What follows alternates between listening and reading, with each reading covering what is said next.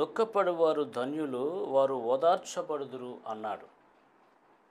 ప్రియ సహోదరి సహోదరులరా ఈ భూలోకంలో ప్రభునందు విశ్వాసం నమ్మకముంచి నమ్మకం ఉంచి భయభక్తులుంచి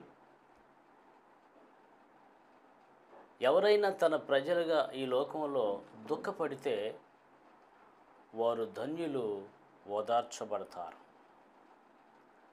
ప్రభునందు విశ్వాసం లేకుండా భయభక్తులు లేకుండా నమ్మకం లేకుండా ఒకవేళ దుఃఖపడితే అది లోకానుసారమైన దుఃఖం గనుక ఆ దుఃఖానికి ప్రభు ఒకవేళ సహకరించలేకపోవచ్చు సహాయం చేయలేకపోవచ్చు. ఎందుకంటే ఆయన ఎందు నమ్మకం లేదు ఆయన ఎందు భయం లేదు ఆయన ఎందు భక్తి లేదు ఆయన ఎందు విశ్వాసం లేదు కనుక అలాంటి వాళ్ళను కూడా ఒక నార్మల్గా చూస్తాడు కానీ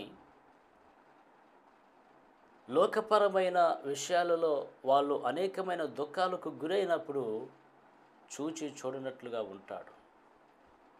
ప్రేమైన దేవుని బిడ్డలరా దేవుని యొక్క వాక్యాన్ని బట్టి మనం చూసినట్లయితే ఆత్మానుసారంగా ఎవరైతే దుఃఖపడతారో ఆత్మానుసారంగా జీవిస్తూ ఎవరైతే బాధపడతారో వారిని దృష్టించి ఆకాశమందు ఆశీనుడైన ప్రభు వారి యొక్క దుఃఖాన్ని వారు బాధను తొలగించటానికి వారు దుఃఖానికి ఓదార్పు ఇవ్వటానికి ఆయన సమశుద్ధుడిగా ఉంటాడు. ప్రేమైన సహోదరి సహోదరులారా దేవుని యొక్క వాక్యాన్ని మనం జాగ్రత్తగా క్షుణ్ణంగా ఆలోచించాలి. ఎందుకంటే దేవుని యొక్క వాక్యము వినుట తోడనే మనకు వెలుగు కలుగుతుందని దేవుని వాక్యం చదివిస్తుంది.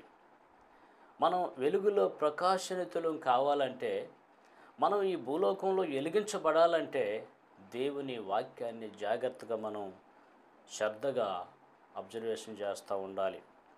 ప్రియమైన సహోదరి సహోదరులరా దేవుని యొక్క వాక్యాన్ని బట్టి మనం ఆలోచన చేసినట్లయితే దేవాది దేవుడు తన కృపను బట్టి ఆత్మానుసారంగా బాధపడేవారిని దుఃఖపడేవారిని చూస్తూ ఊరుకునేవాడు కాదు.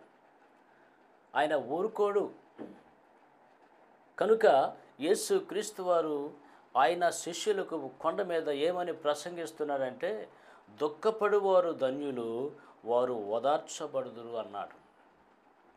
ఈ లోకంలో ఆధ్యాత్మికంగా ఆత్మానుసారంగా మనం జీవిస్తున్నప్పుడు యేసు క్రీస్తునందు విశ్వాసం కలిగి భయభక్తులు కలిగి నమ్మకం కలిగి మనం బ్రతుకుతూ ఉన్నప్పుడు నీకేదైనా ఒక శ్రమ వస్తే ఒక ఒక బాధ వస్తే ఒక ఆర్థిక లోట్లు వస్తే అప్పులు బాధలు ఉంటే సమస్యలు అనేటువంటి వరవడి నిన్ను కమ్ముకొని చుట్టుముట్టి నిన్ను వేధిస్తూ ఉన్నప్పుడు నీకు ఎలా ఉంటుందంటే అయ్యో ఇటు నుంచి నేను ఎలా తప్పించుకోవాలి? ఎలా విడిపించబడాలి? నేనేం చెయ్యాలి అని నీకు ఆ బాధలో కలిగే దుఃఖం అంతంత కాదు. అయితే ప్రేమైన దేవుని బిడ్డరా దుఃఖపడవలసిన సమయం వచ్చినప్పుడు నువ్వు ఎక్కడ దుఃఖపడాలంటే దేవుని మందిరానికి వెళ్ళి దేవుని సన్నిధిలో మోకరించి నువ్వు దుఃఖపడాలి. అలా నువ్వు దుఃఖపడినట్లయితే నీ అప్పులు సమస్యను వచ్చే బాధను బట్టి నీ యొక్క బలహీనతల ద్వారా వచ్చే వేదన బట్టి నీ కుటుంబ సమస్యలను బట్టి వచ్చే సమస్యలను బట్టి నీకు ఉన్నటువంటి సమస్తమైన శత్రుత్వం బట్టి వ్యతిరేకతలను బట్టి మానసిక ఒత్తిడిని బట్టి నీకు కలిగే ప్రతి దుఃఖము ప్రేమైన దేవుని బిడ్డలరా శరీరానుసారమైన దుఃఖంగా ఉండకూడదు. నీ ఇంట్లో కూర్చొని ఏడవకూడదు.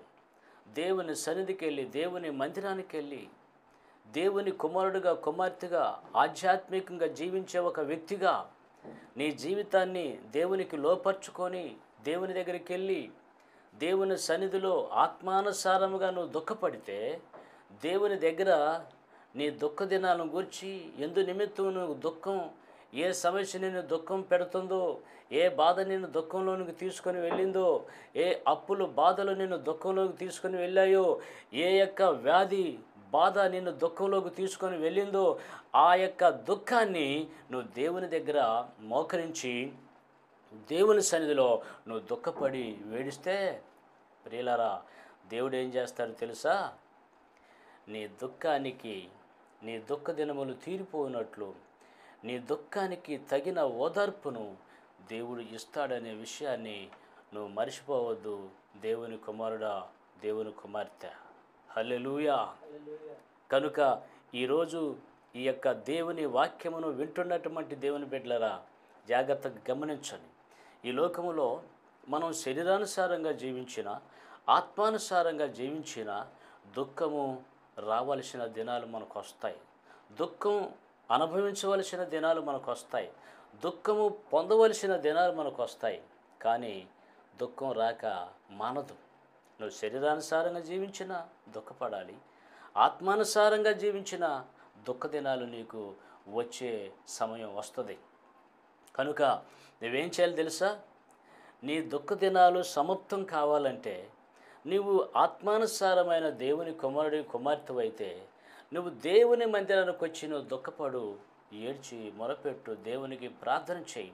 ఎందు నిమిత్తం నిన్ను దుఃఖం బాధించుతుందో ఎందు నిమిత్తం దుఃఖం నీలోకి వచ్చిందో ఆ దుఃఖం వచ్చిన సమస్యను గురించి నువ్వు దేవునికి మొరపెట్టు. దేవుడు తప్పకుండా నీ బాధను చూసి నీ దుఃఖాన్ని తొలగిస్తాడు. హల్లెలూయా. నీకు ఓదార్పునిస్తాడు. నీ దుఃఖానికి తగిన ఓదార్పునిస్తాడు. నీ దుఃఖానికి మించిన ఓదార్పునిస్తాడు. నీ బాధకు మించిన ఆనందాన్ని కలుగజేస్తాడు దేవుడు.